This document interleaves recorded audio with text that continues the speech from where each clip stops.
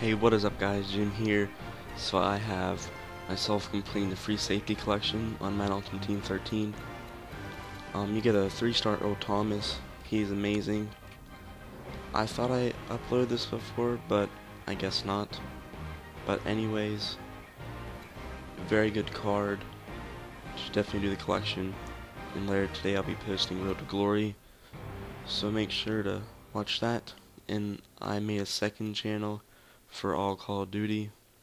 So make sure you go watch that. Watch my videos on there and subscribe. Subscribe to both channels please. And that's it guys. Thanks for watching. Peace.